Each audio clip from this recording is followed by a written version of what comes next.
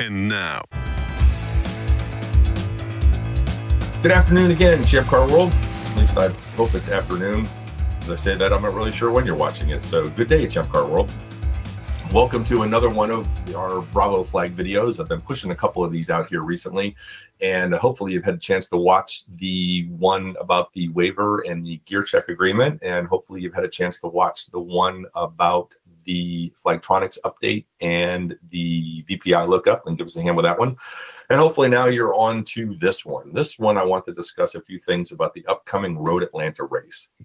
As you may or may not know, this will be our championship race, and the championship race always comes with a few extra complications because it is the championship for the previous year, but it is also the first race, in this case, the first race of the year for the, this year's championship for 2023's eligibility.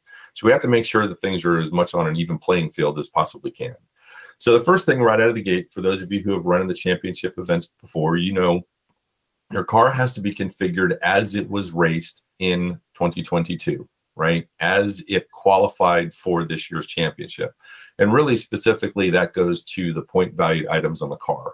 Your car will be valued based on the VPI and the points for items based on 2022, right? So as raced, bring the same car, value it, and point it the same. That obviously leads into the question when we talk about bring the same car of safety equipment. And no, you do not have to run older safety equipment. If you have updated your fire system, if you've put in new belts or seats, stuff like that, obviously that stuff doesn't count. Driver safety equipment, you modernize and update. Obviously, you have to have updated equipment on the car. Speaking of which, we have rolled out a couple things in the last year or two, mostly specifically the dash bars, and we've been generous with what we've considered to be dash bars, but it's going on two years now that we've been requiring dash bars. So if you've got a factory dash bar in there or something that we've given you some sort of waiver on because it didn't quite match up, please make sure you get in there and fix those dash bars. Take a good look at our rule book. We've got a couple of safety rules that have been there for quite a while. Please make sure your car is, is up to spec on these kind of things.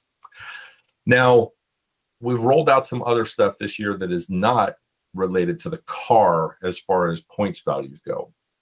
And specifically, that has to do with your pit equipment on pit lane. And the question has been asked about whether the cars racing in the Road Atlanta race will use the 2022 pit equipment or the 2023.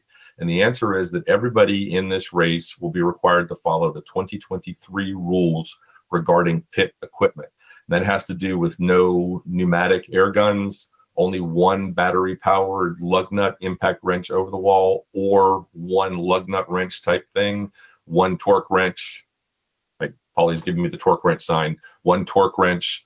I'm looking over here as we're looking at it right now. So it says one lug tool, battery and or hand tool, one jack, one torque wrench, and jack stands are allowed over the wall during the pit stop.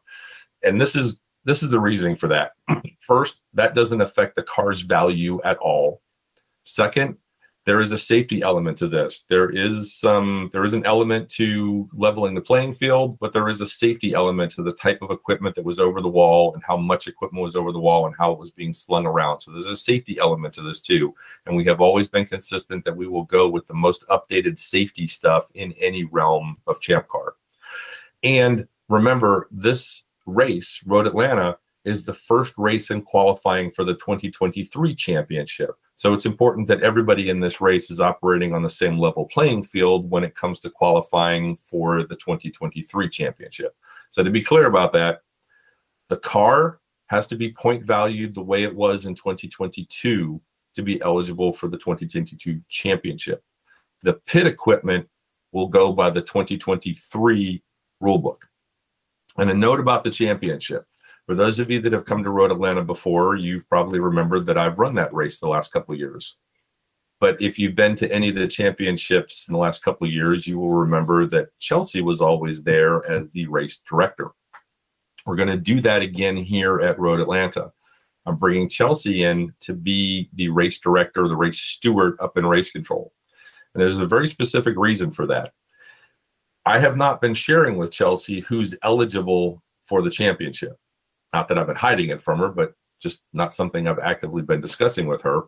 And when she's upstairs running race control, yes, the cars will have the championship contender on the timing and scoring system, but it will not be something that Chelsey is actively aware of minute to minute. And the reason for that is Chelsey is going to manage and steward the race strictly on what's happening right then in the race. She will not know and she will not take into consideration whether you are or are not a championship contender. If you commit a violation, you have contact, you have passing under yellow, she's going to handle penalties and enforcement just like she does at any other race. Okay. So that the reason for that is so that she's not swayed in her decision by whether or not somebody is or is not in the championship contention. So manage your race accordingly. Everybody get out there and drive a good, clean race. So ultimately, Chelsey will manage the race and I will be managing the championship. So I hope that makes sense on that. Hope you guys understand that. That's to make sure that we have a good, clean race for everybody. The question has been asked about championship cars being able to get into the race. And we are at something like 61 registrations as of right now. I have set the limit at 90. It's a good, solid number for Road Atlanta. But there is always a little bit of extra cushion space, especially now with the Flagtronic system where we can communicate much more effectively with the cars. So if you are a championship eligible team and you decide at the last minute that you want to get into the race, I have enough space to get you in. So all championship eligible teams will be able to get into the race. And if you want to run the race anyway, registrations are open now. So if you're not a championship contending team and you want to sign up, there's plenty of space available. Go ahead and sign up for the race. But if you are a championship contending team, I am reserving some extra spots. So if you decide at the last minute that you want to come and you're eligible, I will make sure I get you into the race so nobody is excluded if they want to run. Um, that's pretty much all I've got on that. Again, I want to keep these things kind of short and sweet so you guys are able to watch them and not get too bored looking at me and listen to me blathering on. And once again, I'm going to look at Paulie and see if anything I said did not make any sense to him. See if I get an up or down. Oh, I got an okay from Paulie that time. So, all right. All right. Again, guys, uh, Happy New Year. Look forward to seeing you at the Road Atlanta race in 2023. And I am hoping for a terrific 2023 season. Thank you guys for racing with Champ Car. I look forward to seeing y'all. Bye. Out. Later. all right.